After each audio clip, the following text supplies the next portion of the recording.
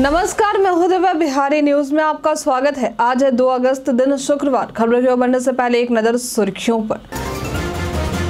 मुख्यमंत्री उद्यमी योजना 2024-25 की बड़ी अंतिम तिथि। बिहार सरकार चीट फंड कंपनियों पर कसेगी सिकंजा। बिहार पुलिस में सिपाहियों और सब इंस्पेक्टर के पदों पर होगी बंपर बहाली। आज प्रदेश के इन जिलों में भारी बारिश को लेकर येलो अलर्ट हुआ जारी।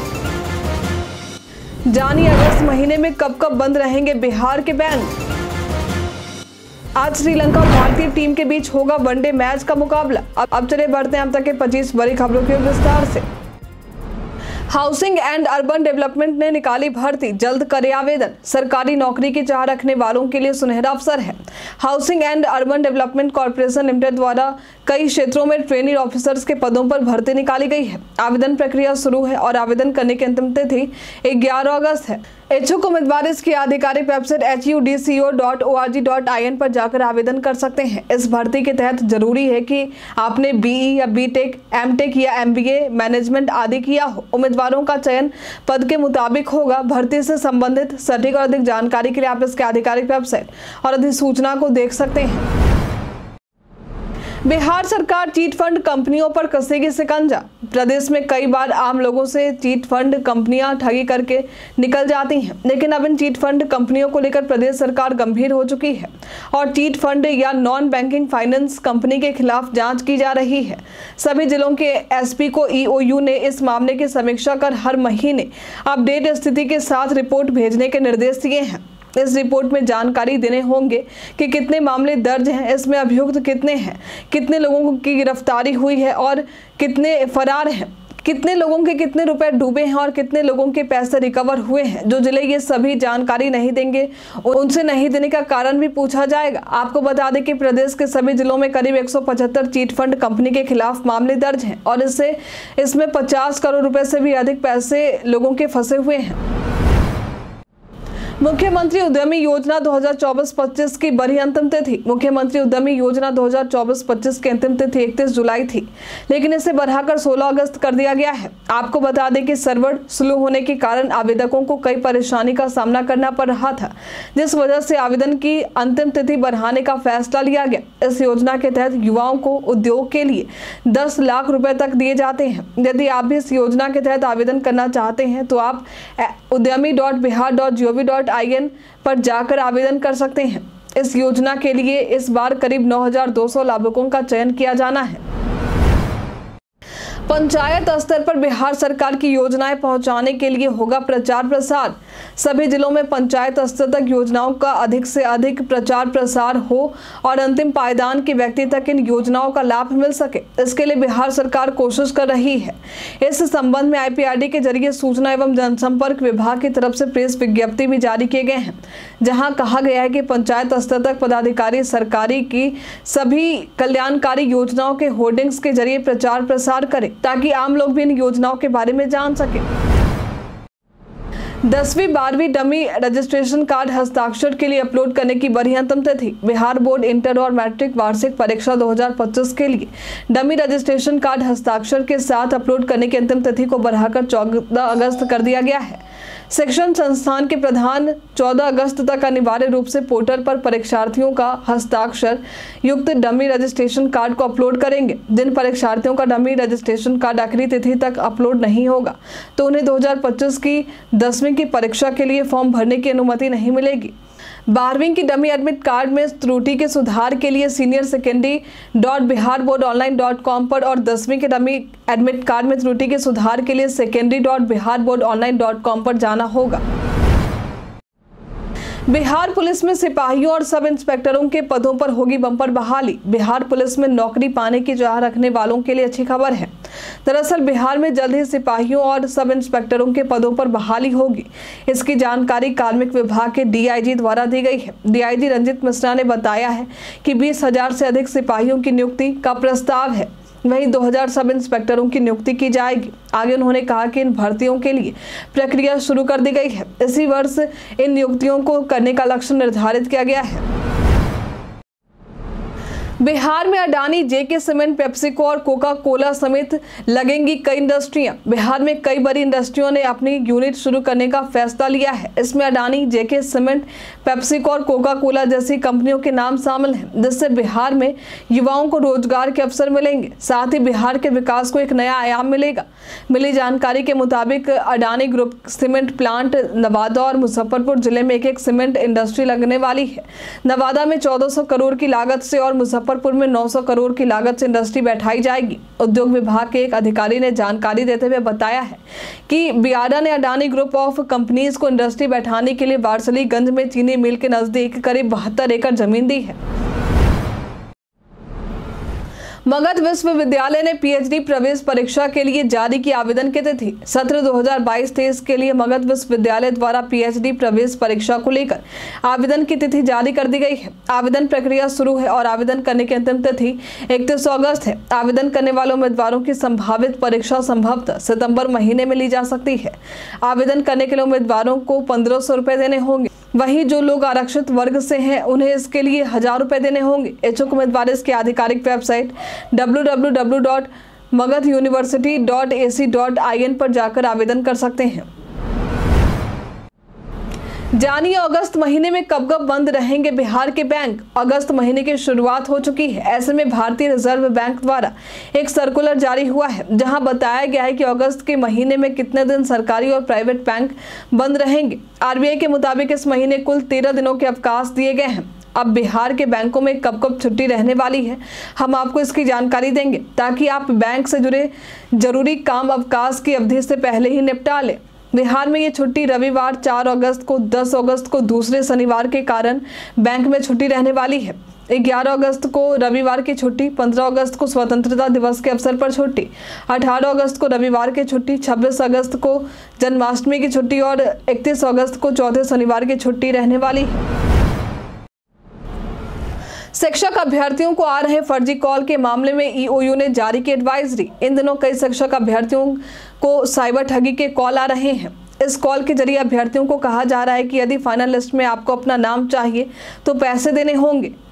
लेकिन आयोग ने आ रहे लेकिन आयोग ने आ रहे इन कॉल्स को लेकर शिक्षक अभ्यर्थियों को अलर्ट किया है। इस मामले में अब ईओयू द्वारा भी एक खास एडवाइजरी जारी की गई है। इसके ज़रिए ईओयू ने कहा है कि किसी भी परीक्षार्थी को परीक्षा में फेल होने अथवा अंक बढ़ाने का फ़ोन आए तो ऐसे फर्जी कॉल अथवा आपके सोशल मीडिया ईमेल पर ऐसे मैसेज आए तो इस पर कभी भी ध्यान ना दे। यदि कोई परीक्षा में पास करवाने अथवा अंक बढ़ाने के लिए पैसे की मांग करता है तो भी उसे पैसे ना दे। ये बिल्कुल भ्रम फैलाकर ठगी करने का तरीका है। इससे आप साइबर ठगी के शिकार हो सकते हैं। इस तरह के मामले सामने आते ही तुरंत नजदीकी थाना या साइबर थाना को सूचना दे। साथ ही इसके लिए व्हाट्सएप नंबर और ईमेल आईडी भी जारी किए गए हैं। इसके लिए व्हाट्सएप नंबर आठ पाँच चार चार चार दो आठ चार शून्य चार है। वही वही email ID S P cyber dash B I H at the rate G O V dot I N या cyber cell dash B I H at the rate N I C dot I N है। इसके अलावा आप N C R P portal के helpline number एक नौ तीन शून्य पर संपर्क कर सकते हैं। प्रदेश सरकार खिलाड़ियों को दे रही खेल छात्रवृत्ति। खिलाड़ियों की सुविधा को ध्यान में रखते हुए खेल छात्रवृत्ति दी जा रही है। इसका लाभ पाने के लिए आप खेल छात्रवृत्ति के पोर्टल पर जाकर आवेदन कर सकते हैं। इसकी आधिकारिक website scholarship dot Bihar sports dot O है। आवेदन की अंतिम तिथि सात अगस्त दो हज़ार है इससे संबंधित अधिक जानकारी के लिए आप इसके आधिकारिक वेबसाइट पर विज़िट कर सकते हैं। आय से अधिक संपत्ति और दुष्कर्म के मामले में आईएएस संजीव हंस पर बड़ी कार्रवाई। बिहार में आईएएस अधिकारी संजीव हंस पर बड़ी कार्रवाई की गई है। इन्हें बिजली विभाग के अतिरिक्त प्रभार से हटा दिया गया है।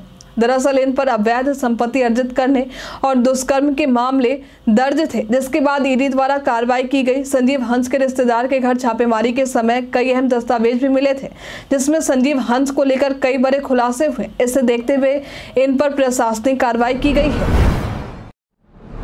वज्रपात से पाँच लोगों की मौत पर सीएम नीतीश ने जताई शोक संवेदना। बिहार के दो जिलों में वज्रपात से पाँच लोगों की मौत पर माननीय मुख्यमंत्री नीतीश कुमार ने गहरी शोक संवेदना जताई है। उन्होंने कहा है कि आपदा के इस घड़ी में वे प्रभावित परिवारों के साथ हैं। इस दौरान उन्होंने मृतकों के आश्रितों को चार चार लाख रुपए अनुग्रह अनुदान देने का निर्देश भी दिया है। सीएम नीतीश ने अपील किया है कि सभी लोग खराब मौसम में पूरी सतर्कता बरतें खराब मौसम में घरों में रहें और सुरक्षित रहें। साथ ही इससे बचाव के लिए आपदा प्रबंधन विभाग द्वारा जारी किए गए सुझावों का अनुपालन करें। इग्नू में एडमिशन की बढ़ी अंतिम तारीख। इग्नू की तरफ़ से पटना में प्रेस कॉन्फ्रेंस आयोजित हुआ। इस दौरान विश्वविद्यालय की पहल, गतिविधियों और उपलब्धियों के बारे में वरीय क्षेत्रीय निदेशक डॉक्टर अभिलाष नायक ने जानकारी देते हुए बताया कि जुलाई 2024 सत्र के लिए प्रवेश और पंजीकरण 14 अगस्त तक होगा। इस स्तर में कुल छब्बीस हज़ार छिहत्तर से ज़्यादा नए छात्रों ने नामांकन लिया है। वहीं इकतीस हज़ार एक सौ तिरसठ छात्रों ने फिर से रजिस्ट्रेशन करवाया है। उन्होंने बताया कि अब तक कुल निन्यानवे हज़ार आठ सौ संतावन नामांकन हो चुके हैं। उम्मीद है कि एक से दो दिनों में ये संख्या एक लाख के पार चली जाए। मानसून की बेरुखी से किसानों को हो सकता है 2000 करोड़ तक का नुकसान। मानसून की बेरुखी के मार सबसे ज़्यादा किसानों पर पड़ रहे हैं। सही समय पर पर्याप्त वर्षा नहीं होने के कारण बिहार में केवल अभी तक महज 55 प्रतिशत धान की रोपनी हो सकी है। कृषि विशेषज्ञों के मुताबिक आगे एक सप्ताह और बारिश नहीं हुई तो बीस फ़ीसदी तक उत्पादन गिरने की आशंका है। इससे किसानों को करीब दो हज़ार करोड़ रुपए तक का नुकसान हो सकता है। आपको बता दें कि प्रदेश में कृषि विभाग द्वारा छत्तीस लाख लाख हेक्टेयर में धान की खेती का लक्ष्य रखा था, लेकिन अभी तक केवल 22 लाख हेक्टेयर की रोपनी ही हो सकी है। आज प्रदेश के इन जिलों में भारी बारिश को लेकर येलो अलर्ट हुआ जारी। एक बार फिर से प्रदेश में मौसम का मिजाज बदला बदला सा नज़र आ रहा है। सुस्त परा मानसून फिर से सक्रिय होता दिखाई दे रहा है। बीते दो दिनों से पटना सहित कई जगहों पर बारिश होती दिखी। कई जिलों को तो वज्रपात को लेकर भी अलर्ट किया गया है। आज भी प्रदेश में कई जगहों पर बारिश होने की संभावना जताई गई है। वहीं किशनगंज, सुपौल, कटिहार, पूर्णिया, भागलपुर, मधेपुरा और अररिया ज़िले में एक या दो स्थानों पर भारी वर्षा होने की संभावना जताई गई है। इन जिलों में येलो अलर्ट जारी किया गया है। आज प्रदेश में अधिकतम तापमान बत्तीस से चौतीस डिग्री रहने की संभावना जताई गई है। वहीं न्यूनतम तापमान छब्बीस से अट्ठाईस डिग्री रहने की बात कही गई है। बिहार म्यूज़ियम में लगेगी एक और आर्ट गैलरी। बिहार म्यूज़ियम में 7 अगस्त को संग्रहालय में एक और आर्ट गैलरी समकालीन दरगाह शुरू की जा रही है। इसकी शुरुआत बिहार म्यूज़ियम में स्थापना दिवस के अवसर पर हो रही है। पूरे देश में कई प्रसिद्ध कलाकारों द्वारा बनाए गए आर्ट को इस गैलरी में लगाया जाएगा, जिसमें रवि वर्मा जो समकालीन कला के नायक कलाकार रहे अमता सेरगिल, रविंद्रनाथ टैगोर और जैमनी राय आदि शामिल हैं। इन कलाओं के माध्यम से मुख्य रूप से सामाजिक मुद्दों पर विश्व स्तरीय समस्याओं को दर्शाने की तैयारी है। एकलव्य स्कूलों की दयनीय स्थिति पर राजद सांसद मनोज झा ने राज्यसभा में उठाए सवाल। बिहार में संचालित हो रहे एकलव्य विद्यालयों की स्थिति दयनीय है।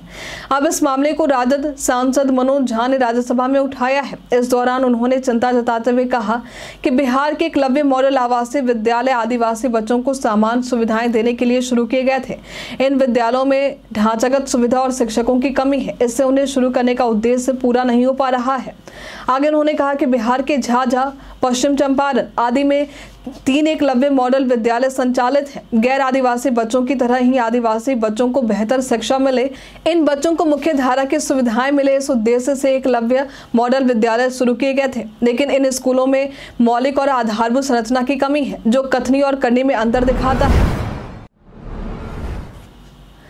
विजेंद्र यादव ने कहा, राजद की बातों पर ध्यान देने की ज़रूरत नहीं। राजद इन दिनों लगातार राज्य और केंद्र सरकार पर हमलावर है। अब इसे लेकर ऊर्जा मंत्री विजेंद्र प्रसाद यादव का बयान सामने आया है। उन्होंने कहा है कि राजद बिना किसी जानकारी के सरकार पर अनर्गल आरोप लगाती है। उनकी बातों को गंभीरता से लेने की ज़रूरत नहीं है। आगे उन्होंने कहा कि हमें पूरी उम्मीद है कि आरक्षण पर सुप्रीम कोर्ट में सुनवाई पूरी होने के बाद बिहार के हित में फैसला आएगा। हमारी सरकार बिहार में बढ़े। आरक्षण कानून को नौवीं अनुसूची में शामिल कराने के लिए केंद्र सरकार से बातचीत कर रही है। जल्द ही इसके सुखद परिणाम आएँगे। पप्पू यादव ने संसद में ट्रेन में डब्बे जोड़ने समेत किए कई मांग। पूर्णिया में सांसद पप्पू यादव ने बिहार के छात्रों को लेकर कई मांगे संसद भवन में उठाई हैं। इस दौरान उन्होंने कहा कि उनकी बेटी ने उनसे ट्रेन में महिलाओं की सुरक्षा व्यवस्था पर बातचीत की है। मेरी बेटी नेशनल खेलती है। उसने मुझसे कहा कि जब हम टीम के सदस्यों के साथ ट्रेन में कहीं भी जाते हैं तो सबसे ज़्यादा बच्चों की सुरक्षा बाथरूम और हाइजीन किचन की ज़रूरत होती है। आगे उन्होंने कहा कि ट्रेन में जनरल डब्बे की खिड़की खुली रहती है। कई बार ये सुरक्षा की दृष्टि से सुरक्षित नहीं है। आगे उन्होंने कहा कि ट्रेन में महिलाओं के लिए अलग बाथरूम की ज़रूरत है। साथ ही उन्होंने ये भी कहा कि जनरल डिब्बे बनाने की ज़रूरत है। हमारे यहाँ से सवा दो करोड़ मजदूर बाहर जाते हैं, लेकिन उनके लिए कई सुविधाएँ नहीं हैं। आपके मुताबिक ट्रेनों में जनरल डिब्बे की संख्या बढ़ाना कितना फ़ायदेमंद होगा? हमें कमेंट में लिखकर ज़रूर बताएँ। आज श्रीलंका और भारतीय टीम के बीच होगा वनडे मैच का मुकाबला। कोलंबो के R Premadasa international cricket stadium में भारतीय टीम और श्रीलंका के बीच मुकाबला होने वाला है। भारतीय टीम इस मैच में रोहित शर्मा की अगुवाई में पहुँची है। मुकाबले में विराट कोहली, के राहुल और श्रेयस अय्यर की वापसी होने वाली है। टी में श्रीलंकाई टीम को हार का सामना करना पड़ा था। लेकिन इस वनडे सीरीज़ में श्रीलंका की टीम वापसी करने के प्रयास में रहेगी। आपको बता दें कि ये मुकाबला आज भारतीय समय के मुताबिक दोपहर ढाई बजे देखने को मिलेगा। इसका प्रसारण आप सोनी स्पोर्ट्स नेटवर्क पर देख सकते हैं। इंडिया वर्सेस श्रीलंका में किसका पलरा भारी हो सकता है? हमें कमेंट में लिखकर ज़रूर बताएँ। कई कारणों से दर्ज है भारत के इतिहास में आज की तारीख। आज के दिन वर्ष सत्रह में मुर्शिदाबाद पर कब्जे के बाद ब्रिटिश सेना ने गिरिया की लड़ाई में मीर कासिम को हराया था। आज के दिन वर्ष अठारह में ब्रिटिश सरकार ने गवर्नमेंट ऑफ़ इंडिया एक्ट को पारित किया था। आज के दिन इस एक्ट के पारित होने के बाद भारत का शासन ईस्ट इंडिया कंपनी से ब्रिटिश राजशाही के हाथ में चला गया। आज के दिन वर्ष अठारह सौ अठहत्तर में भारत के राष्ट्रीय ध्वज तिरंगे की रचना करने वाले पिंगली वेंकैया का जन्म हुआ था। आज के दिन वर्ष उन्नीस सौ सतासी में विश्वनाथ आनंद ने विश्व जूनियर शतरंज चैंपियनशिप जीती थी। आज के दिन वर्ष 2001 में पाकिस्तान ने भारत से चीनी आयात को मंजूरी दे दी थी। एसबीआई रिवॉर्ड पाने के लिए वायरल हो रहा है ये मैसेज कई लोगों को एसबीआई के नाम पर एक मैसेज जा रहा है। इस मैसेज के तहत दावा किया जा रहा है कि एसबीआई रिवॉर्ड पाने के लिए एपीके फ़ाइल डाउनलोड और इंस्टॉल करें। लेकिन आपको बता दें कि एस की तरफ़ से ऐसा कोई लिंक या एपीके फ़ाइल नहीं भेजा गया है। लोगों को ये मैसेज एसएमएस या व्हाट्सएप के ज़रिए मिल रहे हैं। लेकिन इस तरह के फाइलों को डाउनलोड करने से या लिंक पर क्लिक करने से बचे। पीआईबी फैक्ट चेक ने भी लोगों को इस तरह के मैसेज को लेकर आगाह किया है। शेयर बाज़ार ने चौथे कारोबारी सप्ताह में रचा इतिहास। शेयर बाज़ार ने इतिहास रचते हुए सप्ताह के चौथे कारोबारी दिन निफ्टी उनसठ दशमलव सात सात अंक चढ़कर पच्चीस हज़ार दस दशमलव नब्बे अंक के स्तर पर बंद हुआ। इस दौरान सेंसेक्स भी एक सौ छब्बीस दशमलव दो एक अंक मज़बूत होकर इक्यासी हज़ार आठ सौ सड़सठ दशमलव पचपन की रिकॉर्ड ऊंचाई पर ठहरा, जो सेंसेक्स और निफ्टी की रिकॉर्ड क्लोजिंग रही। इस दौरान एनएससी के निफ्टी पहली बार पच्चीस हज़ार के पार खुली है। वहीं BSC Sensex all India time high पर रहा। इस दौरान सेंसेक्स शुरुआत कारोबार में बिरासी हज़ार के लेवल को पार कर गया। गूगल अपने यूज़र्स के लिए लेकर आ रहा एआई बेस्ड एडिटिंग टूल्स अक्सर हम फ़ोटोज़ एडिट करने के लिए ना जाने कई तरह के ऐप्स का इस्तेमाल करते हैं, लेकिन अब गूगल अपने सभी यूज़र्स के लिए फ़ोटो ऐप में एआई फीचर लेकर आ रही है। जिसमें फ़ोटो एडिटिंग फीचर भी देखने को मिलेंगे। गूगल फ़ोटो यूज़र्स के लिए एआई बेस्ड एडिटिंग टूल को रोल आउट कर दिया गया है। इस फीचर की मदद से user magic editor magic eraser photo unblur जैसे कई टूल्स का फ़ायदा उठा सकते हैं। इन सभी टूल्स की मदद से आप अपनी फ़ोटोज़ को पहले से और भी बेहतर बना सकेंगे। हम प्रतिदिन आपसे पाँच ऐसे ज़रूरी सवाल पूछेंगे और उसका जवाब बताएँगे, जो कि बीपीएससी बिहार पुलिस, दरोगा समेत एसएससी जैसे अन्य प्रौद्योगिक परीक्षाओं में काम आएँगे। सवाल इतिहास, बिहार स्पेशल विज्ञान करंट अफेयर्स और भूगोल से रहेंगे। पूछे गए पाँच सवालों में आपने कितना सही उत्तर दिया है, ये हमें कॉमेंट में लिखकर ज़रूर बताएँ। तो हमारा पहला सवाल है, बिहार में कौन सा पर्यटक स्थान अक्सर विदेशी पर्यटकों द्वारा दौरा किया जाता है? ऑप्शन है बोधगया। ऑप्शन बी है वाल्मीकि नगर ऑप्शन सी है सासाराम। ऑप्शन डी है विक्रमशिला। इसका सही उत्तर है बोध गया। बिहार के पटना में दूरदर्शन केंद्र की स्थापना कब हुई थी? ऑप्शन ए उन्नीस सौ अठहत्तर, ऑप्शन बी उन्नीस ऑप्शन सी उन्नीस सौ अस्सी, ऑप्शन डी है उन्नीस सौ छियासी। इसका सही उत्तर है उन्नीस सौ अस्सी। बिहार में गंगा कार्य योजना का दूसरा चरण कब शुरू हुआ? ऑप्शन ए फरवरी उन्नीस सौ इक्यानवे, ऑप्शन बी है फरवरी उन्नीस सौ छियानवे, ऑप्शन सी है मार्च उन्नीस सौ छियानवे ऑप्शन ए में से कोई नहीं। इसका संयुक्त है फरवरी उन्नीस सौ इक्यानवे। अर्जेंटीना की आधिकारिक राष्ट्रभाषा क्या है? Option A Spanish, option B है फ्रेंच, ऑप्शन सी है इंग्लिश, ऑप्शन डी है पुर्तगाली। इसका सही उत्तर है स्पेनिश। एलिफेंटा की गुफाएँ किस हिंदू देवता को समर्पित है? Option A Brahma, option B है विष्णु, ऑप्शन सी है शिव, ऑप्शन डी है इंद्र। इसका सही तरह से बीते दिन हमारे द्वारा पूछे गए सवाल का आप लोगों में से बहुत सारे लोगों ने अपना जवाब हमें हमारे कमेंट सेक्शन बॉक्स में लेकर दिया था, जिन्होंने हमारे द्वारा पूछे गए सवाल का जवाब देने के नाम है। विनय कुमार, मोतीलाल कुमार इंतज़ार खान, पंकज कुमार दास, संतोष कुमार, सुरेंद्र पंडित, राजीव कुमार, भरत प्रसाद, योगेश भरद्वाज, विनीता भारती, सुमन कुमार मिश्रा, वेद कुमार सिंह, रिंकी कुमारी। इसके साथ ही बढ़ते आज के सवाल की और आज का सवाल है आपके अनुसार बिहार सरकार की कौन सी योजना सबसे ज़्यादा लाभदायक है? हमें कमेंट में लिखकर ज़रूर बताएँ। आज के लिए इतना ही। बिहार के तमाम खबरों के साथ बने रहने के लिए देखते रहे बिहारी न्यूज़। और साथ ही अगर आप यूट्यूब से देख रहे हैं तो चैनल को लाइक करना और सब्सक्राइब करना। अगर आप फेसबुक से देख रहे हैं तो पेज को फॉलो करना ना भूलें। धन्यवाद।